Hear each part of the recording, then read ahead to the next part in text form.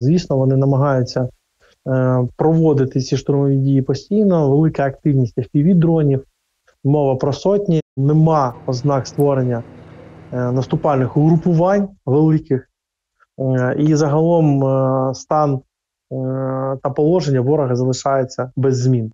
Вони застосовують усі номенклатуру наявних озброєнь, починаючи від атак з повітря, закінчуючи FPV-дронами, артилерією.